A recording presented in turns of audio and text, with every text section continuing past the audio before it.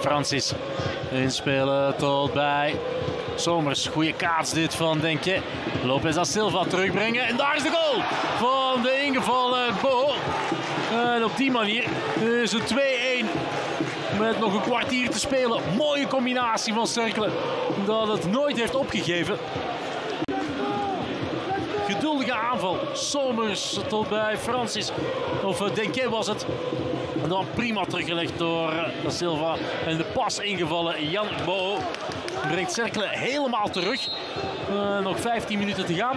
Misschien valt er nog wel een appel uit de kast voor de vereniging.